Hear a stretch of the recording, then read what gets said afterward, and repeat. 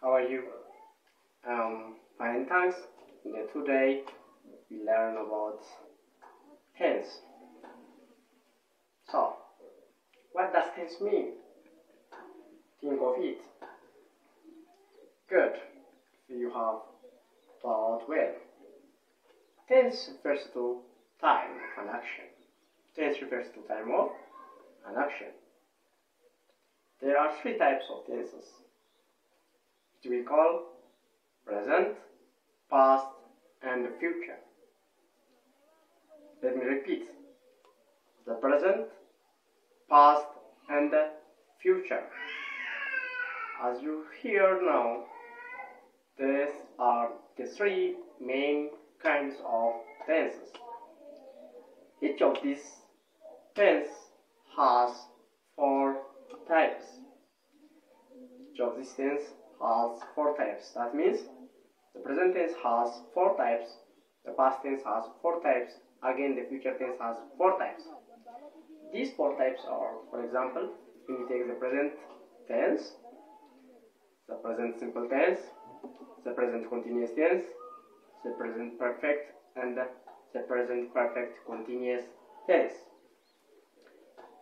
Also, the past tense has also four types with the same type, but we say past simple or past infinite tense, past continuous, past perfect, and past perfect continuous tense are types of past tense.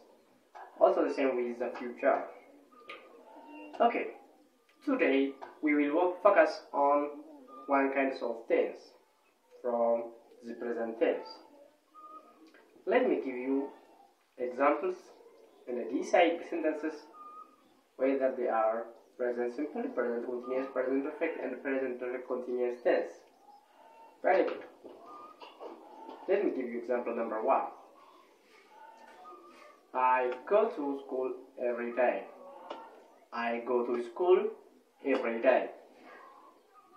She usually goes to church on foot. She usually goes to church on foot. He always likes to eat rice or he always eats rice. He always eats rice. The sun rises in the east. The sun rises in the east. They run round the study. They run around the study. Okay. I give you about five examples. Okay. When you see the uses of these sentences, sentence number one, two, three, and sentence number five about repeated action. Sentence number one, two, three, and number five are about repeated action or actions that we do repeatedly. And the sentence number four is about general truths or facts. So, and the structure of these sentences subject plus verb 1 plus object. For the sentences which I say repeated action, there is word which shows that as it is repeated action, which we call adverbs of frequency. So words like every day, usually, always are adverbs of frequency. They show frequency. So that we say the tense which we use to talk about repeated action and facts or general truth is the present simple tense. Very good. In the first sentence, I said, I go to school every day. I go to school every day. In this, I subject, go is verb 1, and school is what we say object. So this sentence structure is subject plus verb 1 plus object. So that it is the present simple tense. And the word every day is adverb of frequency, which shows the frequency of an action. In the second sentence, as I said, She usually goes to church on foot. She usually goes to church on foot. The word usually shows that frequency. Here, I used the word usually between subject and verb because of what is like always, often, sometimes are adverbs of frequency which are used between this uh, place or between subject and verb. And then the word is like every day, every week, and the word is like uh, used as adverb of frequency and the form from keywords are used at the end of the sentence.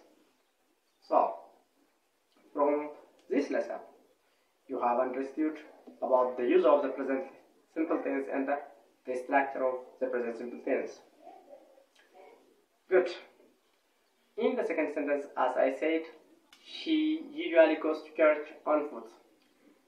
The verb I used is goes. G O E S.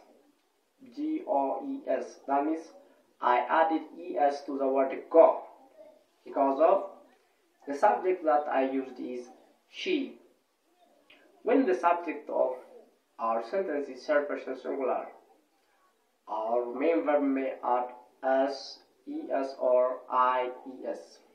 Adding s, es and ies depends on the verb given. They also the subject of the sentence. The subject of the sentence must be third person singulars. What we say third person singulars are he, she, it, also singular nouns used as subject. Yeah, this all are all are about our today's lesson. Don't forget to subscribe Mr. Johannes at the YouTube channel to get new updates my videos. Thank you for watching. Goodbye.